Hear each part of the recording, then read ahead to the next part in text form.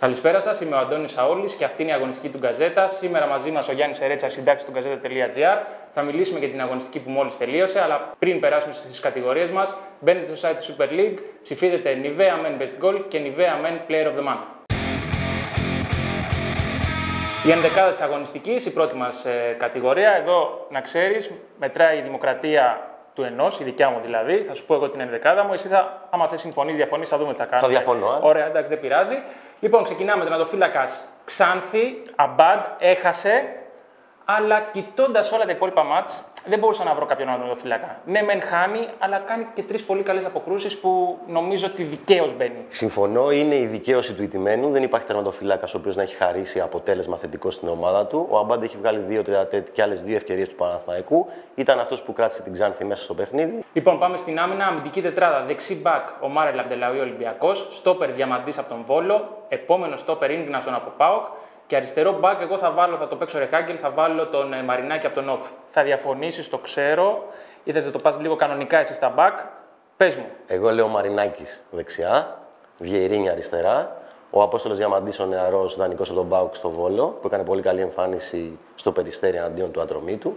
Και Βράνιες. Εσύ το πας πιο ορθολογικά, να πας δεξιά κανονικό, δεξί μπακ, κανονικό αριστερό μπακ.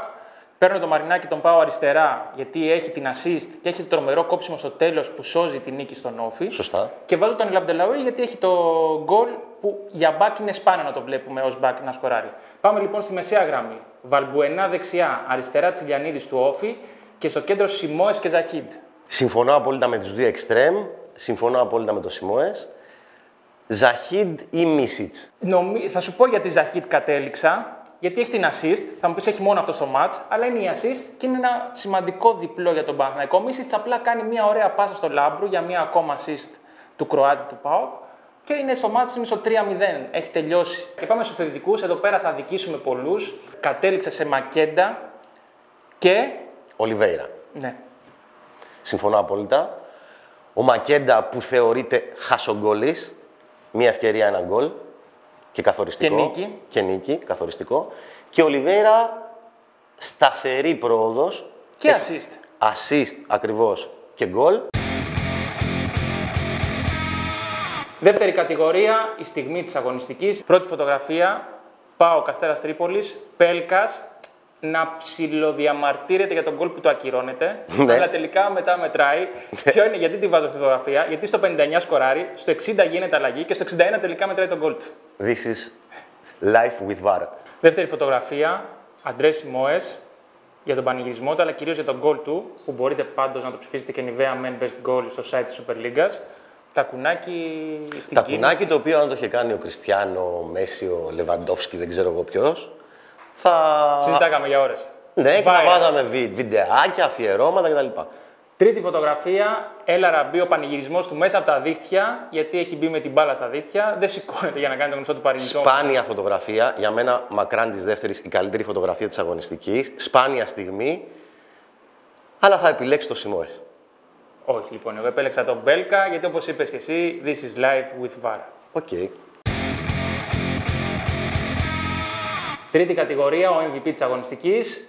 Λοιπόν, για μένα Νίκος Μαρινάκη από τον ΟΦΗ θα έβαζε τον Τζιλιανίδη. Έχει γκολ, έχει assist, αλλά έχει και χαμένο πέναλτι. Οπότε πολύ καθοριστικός για να πάρει το διπλό ο ΟΦΗ στη Νέας Σμύρνη είναι ο Μαρινάκης, γιατί έχει την assist για το 2-1 και σώζει σίγουρο γκολ στις καθυστερήσεις σχεδόν που κόβει την μπάλα σε κόρνερ, γιατί θα μπει κανονικά. Θα συμφωνήσω μαζί σου γιατί ήταν πολύ σημαντική νίκη για τον Όφη.